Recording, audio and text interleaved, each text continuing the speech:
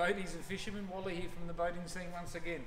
This week I thought I'd cover a topic that gets brought up in phone conversation more often than not, and that is when people are purchasing outboards, they do not know whether they have a short or a long shaft engine. So I thought today we'd show you the two different different types that we sell the most of. This is our short shaft, as you can see by the cavitation plate height, and over here dropping down is our long shaft. And uh, when, we, when I speak to people over the phone, most of them are not aware. They will just they will just ring up and ask for an 18 horsepower, and sometimes they get caught buying the wrong engine. The difference being, when you purchase a boat, there are different transom heights, and that's that's what determines your shaft length is the height of the transom. You will, when you're purchasing an outboard, grab yourself a simple rule like this, and uh, you measure the back of the boat from where it sits to the deepest point. This deepest point should be in line with the cavitation plate right there.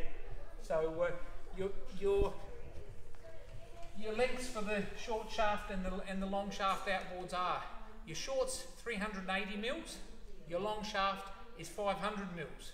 We do often sell a, what we call an ultra long, which is usually on the bigger craft, normally around 110, 115 horsepower onwards, and they are at 635 mil. Keep in mind, there can be a variation of up to 50 millimetres depending on the manufacturer of the outboard and also the builder of the boat. So, you know, within 50 mil specification is pretty good, unless of course you're a, you're a racer, well then it comes into a different world. We can cover that some other time. But for the average fisherman, what we've just said is pretty much does it. Now I'd also like to uh, just make a quick comment on last week's video. We had a few people come back to us and uh, ask us about starting the outboard with a fuel injected engine.